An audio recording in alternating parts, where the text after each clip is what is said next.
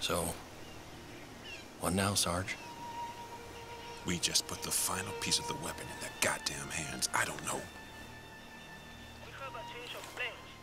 The Russian colonel is moving to the harbor. We cannot find the Americans. Be vigilant. Marlowe, take him down. I got this one, Sarge.